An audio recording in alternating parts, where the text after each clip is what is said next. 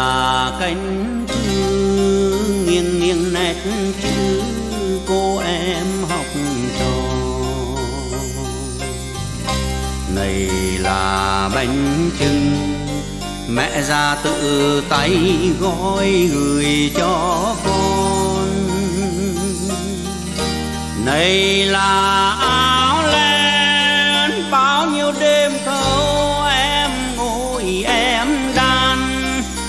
nay em gửi ra tới chiến trường, mang chút tình hậu phương thương mến.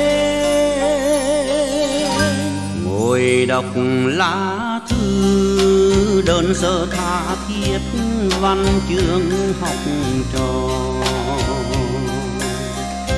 Nhìn cặp bánh trưng mà lòng mùi thương già xa xôi. Mặc vào áo len, sao như tôi nghe trong lòng chơi vơi. Xuân đang về trên khắp đất trời nhưng tất cả xuân là ở đây.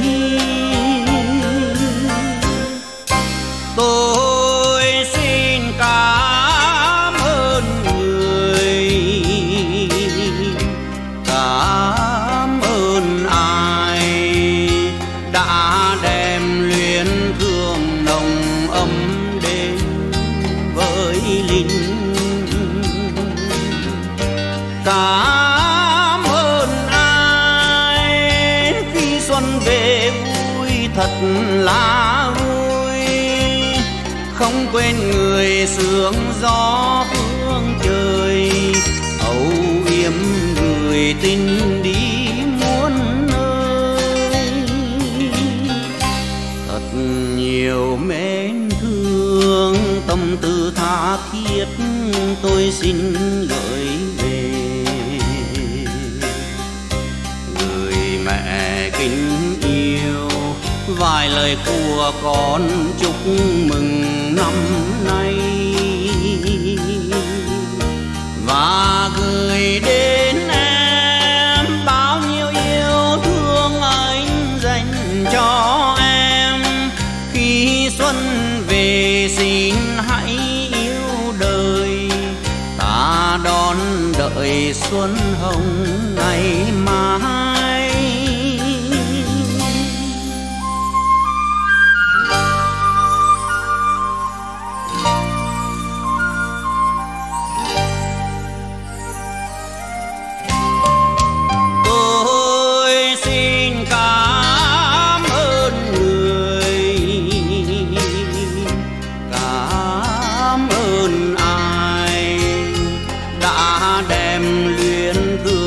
thương nồng ấm đến với linh.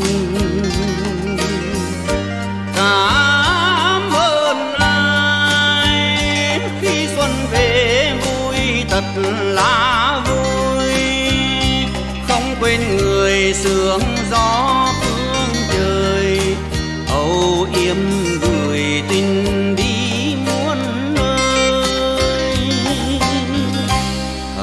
nhiều mến thương, tâm tư tha thiết tôi xin gửi về. Người mẹ kính yêu, vài lời của con chúc mừng.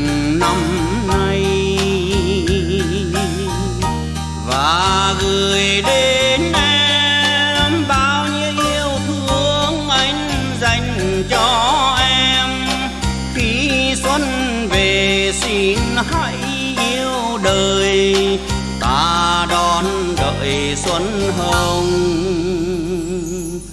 Ngày